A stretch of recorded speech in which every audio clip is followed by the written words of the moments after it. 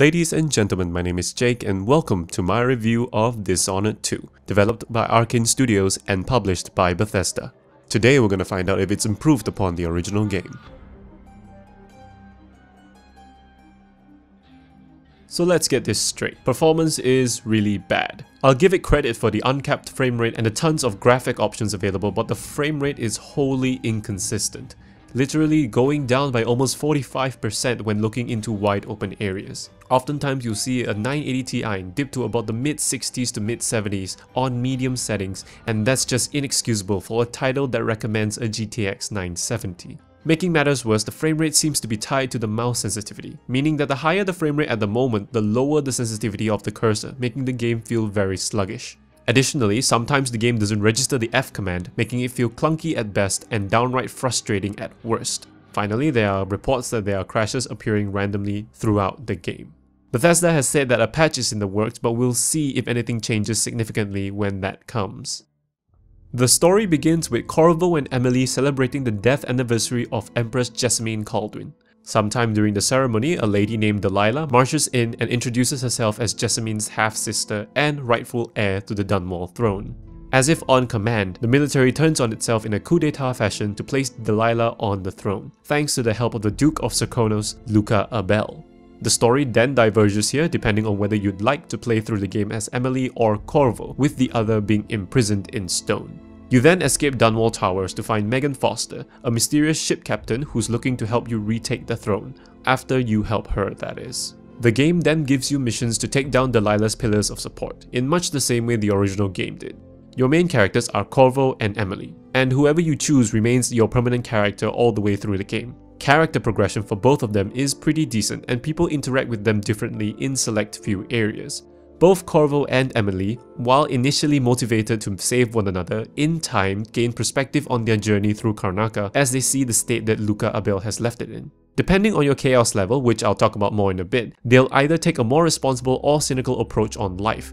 Thankfully, both of them give exposition as you explore around the levels, which is a huge improvement over the silent protagonist of the first game. Add to that the written travelogues they write after each mission and you'll have decent characters with more than just the current objectives on their mind. Alongside the main plot of rescuing one another, further subplots of bloodfly infections and mysterious killers are also added into the mix to give you some variety in issues to handle, and most of these plot points are easily understandable and never really overstate their welcome. It's a fine story that is more complex than you being the absolute good guy, but if you didn't like the original's story progression, this one isn't going to change your mind either. Corvo and Emily's interactions differ enough for me to warrant a second playthrough coupled with their different skill sets, but more on that later. Dishonored 2 takes the quality over quantity approach with its two side characters, Megan Foster and Delilah Kaldwin. Megan is a character with many levels and secrets that get revealed when she starts to see you as more than just a means to an end. Delilah is developed to a point where you can't help but feel a sense of empathy towards her and her situation. World building, done typically through reading letters and listening to conversations, is more compelling this time round, probably because it's a little bit more consistent throughout the missions. The heart that can listen to people's secrets is back too, and it seems to have a different secret for just about every citizen in Karnaca. The fact that side characters are more developed overall means that the exposition of the heart feels more like a welcome addition this time, rather than a preferred replacement for their explicit conversations. At its heart, Dishonored 2 is still a stealth action adventure game. It brings back its emphasis on choice in taking out enemies and getting around the map in general, with there always being more than one way to get to a certain location. It doesn't fall into the same trap of the original game's lack of variety in non-lethal weapons, because this time you have different types of non-lethal darts, and even stun mines that can take out groups of enemies when fully upgraded. Most importantly, aerial stuns and counter chokes are also now made available, making it actually feasible for you to confront all enemies head on. Lethal combat is just as viable as before and the game still has its chaos mechanic, causing there to be more bloodflies, more violent citizens, and an overall darker outcome to the story if you get far too trigger happy. Again though, it's not as though these high chaos ratings will change the way you fundamentally handle levels. Missions will include you taking out key targets and you'll use your arsenal to do so through the straightforward lethal way, or you can take the extra step and find a non-lethal route. Aside from your standard weapons, which you can upgrade at shops present during most missions, you also have a few magic spells, courtesy of your old friend the Outsider. Emily and Corvo both have almost completely different active magical skills, making their own playstyles rather different. Magical skills here can be used offensively or defensively again as per the original game, and I'd say to pick Emily for your first playthrough if you've played Dishonored recently, because Corvo's skills aren't that much different from before. As usual, you'll upgrade these skills through the collection of runes and while you're at it, you'll also come across some bone charms that give you positive traits. Dishonored 2 adds some more depth with bone charms that can give you negative traits as well and even a crafting mechanic to maximize the efficiency of your slots at the risk of creating your own corrupted bone charms. To keep things from getting stale, you'll want to consistently get weapons and magic upgrades that cost money and runes respectively. Thankfully, the city of Karnaca is huge, with plenty of rooms for you to explore to learn about the world and more importantly, loot to your heart's content. You'll be pretty much set if you explore each location that has a bone charm or rune to it, since there's a fair bit of loot there as well.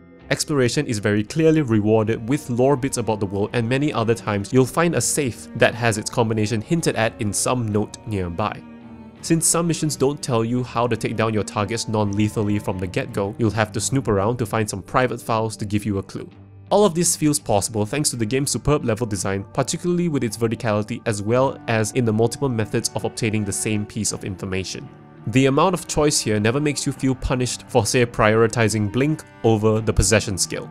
Enemy variety in the game has also improved, from the soldiers that wield swords to the giant mechanical robots that can see both front and back at the same time. The game makes better use of its supernatural setting as well, not shying away from magical enemies and their undead pets that make you feel as though each level has its own twist to its enemies. AI has been made smarter in their vision but not through their hearing. This means that even if an enemy spots you for a brief moment, it'll investigate that location, but accidentally knocking a glass or even choking someone next to the AI will not alert them. Direct combat isn't significantly different from before. Guns have little to no recoil to manage and the crossbow only fires in an arc over long distances. Swordplay is a little harder at the beginning with a shorter parry window this time, but largely remains the same in that you spam right click when the enemy isn't striking you, and you try to block at the right time when he is. There are however many more kill animations in Dishonored 2, making the motion of taking out multiple enemies in a row much more satisfying.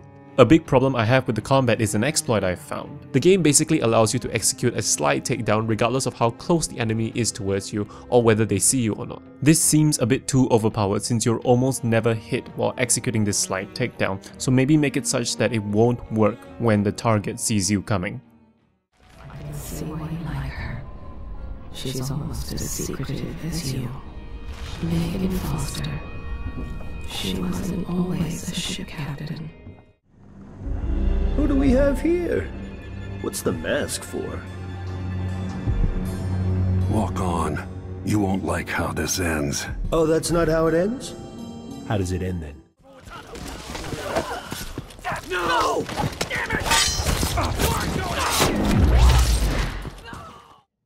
Dishonored 2 looks very much like a better version of the original game. Better textures, better blood effects, and better all-around detail in things like character models, at least when it's running smooth enough for you to notice. There are times when the game just looks absolutely beautiful and full of life thanks to the citizens of Karnaca. Each mission will take place over 2 to 3 different areas with the first couple being the different districts of Karnaca. These areas are definitely different from one another but they share the same Karnakian architecture, which you'll notice as you're moving from one balcony to the next. The climax of each mission though will bring you to entirely new areas in these districts like institutes, palaces, mansions, so on and so forth, which brings some much welcomed variety with their different multi-floored layouts and surroundings to match.